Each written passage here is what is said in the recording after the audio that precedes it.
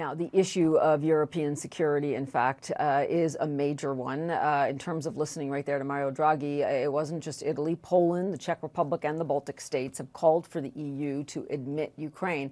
Other leaders have said that will need more time to happen. Still, in just four weeks, Russia's invasion of Ukraine has completely shaken some long held diplomatic views, prompting countries like Sweden, Finland to consider and this is significant, NATO membership. So, this is sure to be a central topic when U.S. President uh, Joe Biden arrives in Brussels Wednesday for meetings with NATO allies. To talk more about that, I want to bring in Alex Stubb. He is the former Prime Minister of Finland and the director of the School of Transnational Governance at the European University Institute. Really good to have you uh, with us uh, this evening as we discuss this. You know, we, we heard from the um, Kremlin spokesperson, Dmitry Peskov, and he says that they are looking for uh, Ukrainian neutrality, something Finland knows something uh, about the, you, know something about this and has for decades. I mean, do you find this a bit duplicitous on the top uh, in terms of the Kremlin acting as if this would somehow meet their demands if only Ukraine would remain neutral?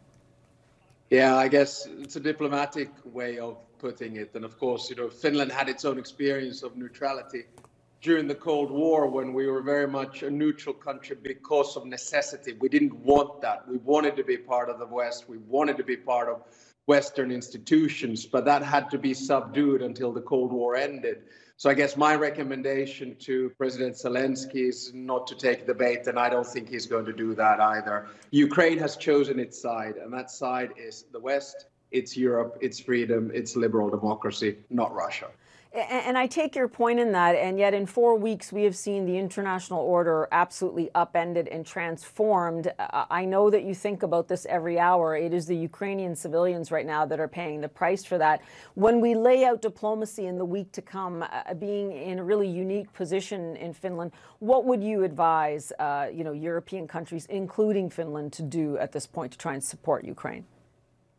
Well, the starting point is to understand the change, the fundamental change, and basically the division of Europe again into two. One is a totalitarian, authoritarian Russia, and the other one is then a democratic uh, and more cooperative uh, Europe. Obviously, all avenues of diplomacy have to be sought, etc., etc. I mean, I myself was involved in mediating the peace in the war in Georgia in 2008 we did it in five days with six points, but the bottom line is that the stakes were much lower than than they were now, and that's why I think we are at a moment, you know, where uh, idealism hits realism. I don't see a ceasefire coming out of this.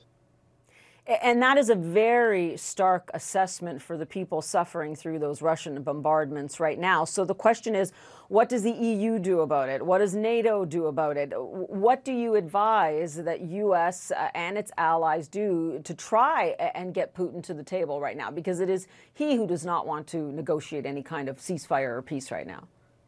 Yeah, the starting point is to continue more of the same. In other words, continue to roll on the sanctions. And I think the next step needs to be an oil embargo and then obviously the waning off of uh, gas exports. The second thing, which is more important to uh, Ukraine right now, is of course arms exports. We need to keep them flowing uh, because we can already see that the Ukrainian military uh, and all the soldiers there are doing an excellent job in fighting off the Russians. The third and final point is, you know, I, I don't think we can get Putin to the negotiating table. Remember, this is about him. It's about his legacy. It's about historic and great Russia or making Russia great again.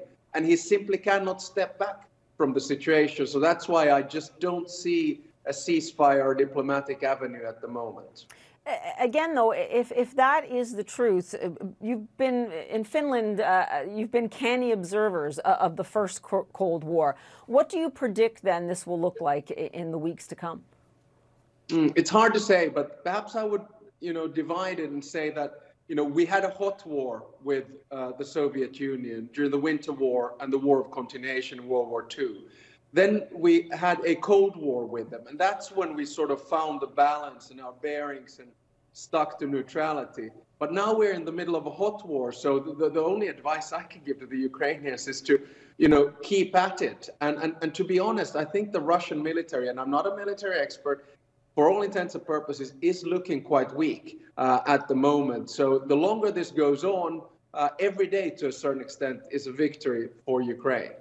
Yeah, and it's not only a victory for Ukraine in terms of the Western allies to see that Russian military depleted in this way obviously means they perhaps would not be a threat to others as well. Uh, Alex Stubb, uh, really appreciate your input here.